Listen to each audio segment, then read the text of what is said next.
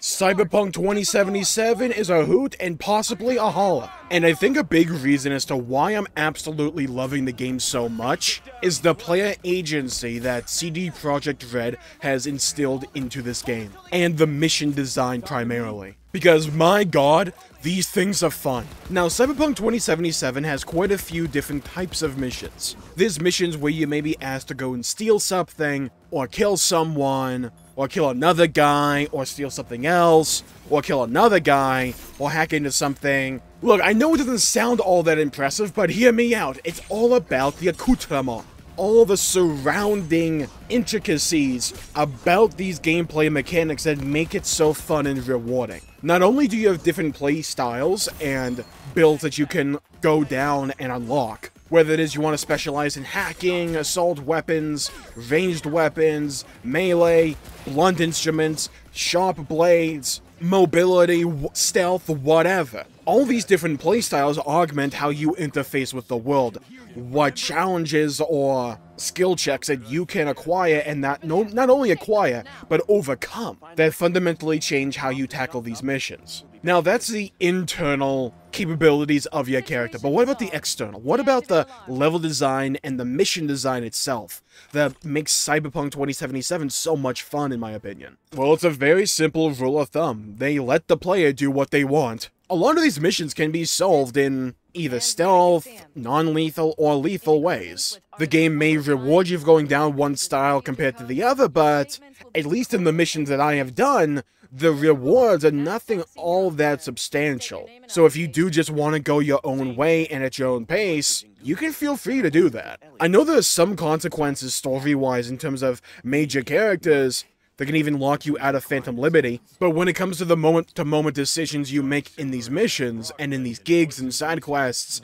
and just all all over Night City as a whole, you never really feel like the game is trying to force you to go one way compared to another. You always have the freedom of choice to go off the beaten path or to utilize a different build or a different strategy to overcome the trial or the adversary. Take, for instance, a gig that I just completed. Now, the idea was that I had to go into this nightclub and I had to kill this one guy who took a job by a fixer before, but was too bloody in his methodology and just ended up pissing off a whole bunch of different people. So he was a liability, and the fixer Dino didn't want that on his head, so he tasked us to go in and deal with the problem. Now, you go into the nightclub and you may think, okay, I'll just go up to the guy, kill him, and leave, and you can kind of do that. He has some bouncers in front of him and blocking the doors, but you can just kill them if you want.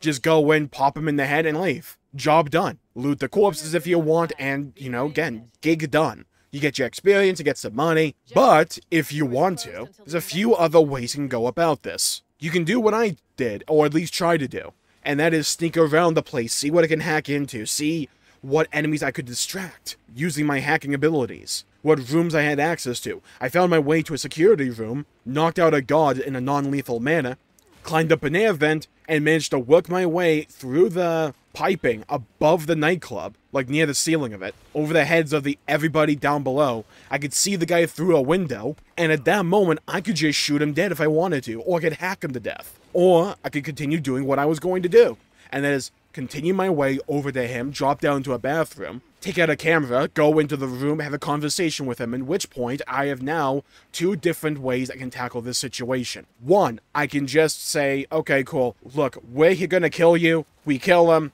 we kill everyone else, we leave. I can also loot something really powerful in that room, a legendary weapon. Or, I can do what I also try to do which was convince them to leave Night City instead, which would also complete the gig. I was never prompted to do this beforehand. Dino never suggested that this could happen. It just happened to be a dialogue option that popped up. So I wanted to see both routes. So I made a save file and I did two things. In the first try, I just killed him and I killed everybody. I looted all the corpses, looted the room, and I went away with a sizable chunk of cash and a gig done. Cool, right? It felt good to use my swords and my knives and just dust everybody there who had given me a hard time trying to get into the VIP room before. And I walk out feeling like a badass covered in blood, as all the gentle onlookers of the nightclub looked on in horror as to what I just transpired, or enacted upon these people. Dino rings me up, says, hey, good job, here's some money, and then job done. So, That's Route 1. That's what could have happened. But then I reverted the save, and I convinced the guy to leave Night City because his future was bleak. Because if I didn't kill him, someone else would come and take my place. Either way, his head would roll if he remained in the city. Eventually, he relented and said, okay, look, screw off, get out of here,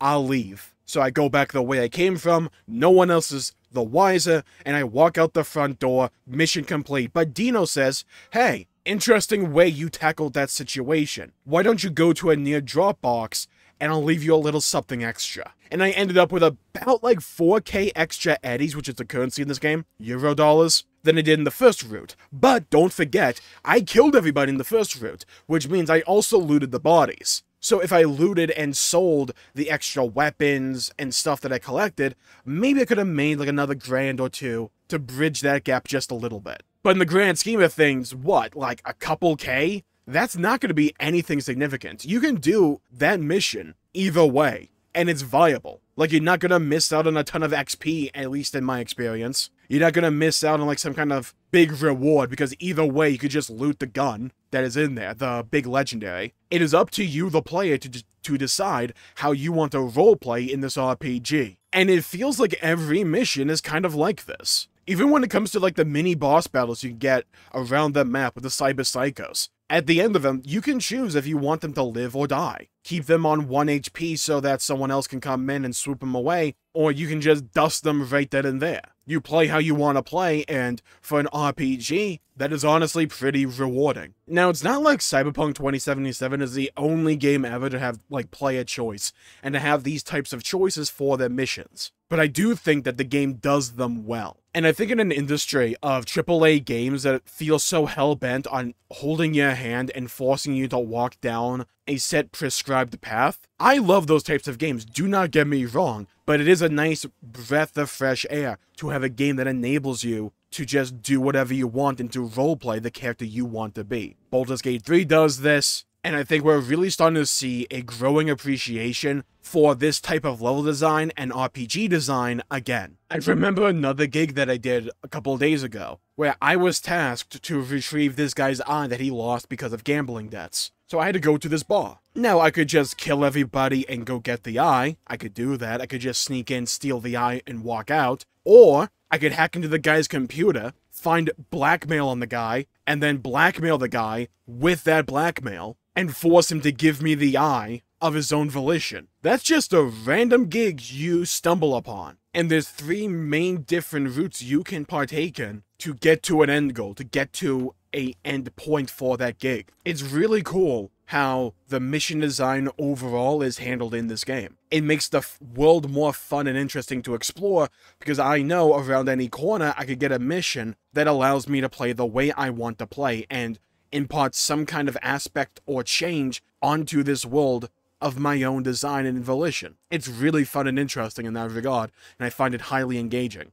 And again, I'm still extremely early on, so Lord knows what type of missions await me down the line. But it also helps that I feel rewarded for going down my path, like there are legitimate consequences to what build I go for. I didn't specialize in hacking, so a bunch of those little nodes in those bars that I could possibly have hacked into before, I don't really do that. I go for brute force and negotiation. And there's quite a few times that have popped up in my playthrough where my origin being from the street has enabled me to go along a dialogue option or path that I would not have been able to go with before. It makes my character feel individualized and that the decisions that I make in customizing and building up my character feel weighty and important. And I think that's a great thing. And the game rewards me on a fast enough of a basis, so I always feel rewarded and incentivized to do this side content and these side activities. It just feels like each of these individual components work together in a synergistic whole to create an experience that's really fun and interesting.